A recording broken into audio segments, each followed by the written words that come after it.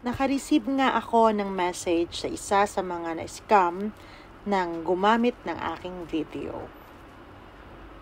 Tingnan nyo itong message na ito galing kay kabayan at tinuro niya yung dalawang kabayan din natin na humihingi ng pera or nakahingi na ng pera nila sa Telegram.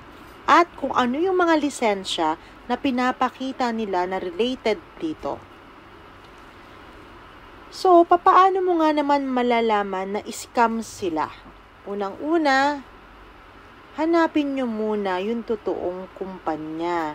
Ang totoong kumpanya, kadalasan marami ang likers, hindi lang konti, more than 100,000 yung sa amin. Ngayon, pangatlo, hanapin nyo yung website. Kung talagang may website sila, na maaari nilang patunayan na sa kanila yon. Pang-apat, mas maganda office face-to-face talaga tayo. Yung kapag sinabi, tara, meeting tayo, ipapaliwanag ko sa inyo to. Hindi yung message-message lang, walang instant. Okay? Kapag sinabi nyo, nagmamadali ako, wala naman akong pang-collateral, hindi yan OFW loan kung walang collateral. Walang madali. Okay? Kung gusto nyo, sa halip mag-OFW loan kayo, wag loan kayo sa bangko kasi ang hinihingi lang din naman sa OFW loan is collateral.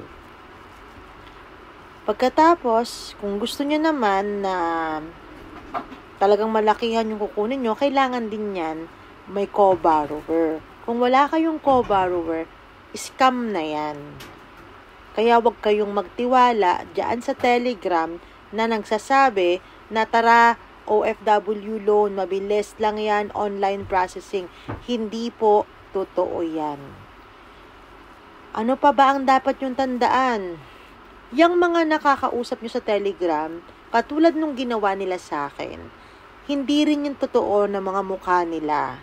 Ginamit lang din nila yan, pinul out sa LinkedIn, pagkatapos kinuha yung pangalan para sirain lang din yung mga tao na yan pinagtatawanan na kayo, nagpapaloko pa kayo. Hindi po sila yung totoong mga kausap ninyo. Alam na alam naman na natin na maraming scammer sa Pilipinas na nagpapaloko naman kayo. Huwag po kayong magpaloko sa mga scammer na yan. Huwag kayong magpapadala ng pera sa scammer na yan.